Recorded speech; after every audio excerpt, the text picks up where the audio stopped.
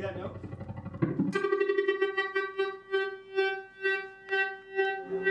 Try uh, try one beginning. Where it goes. One, two, three, ba- brrr, like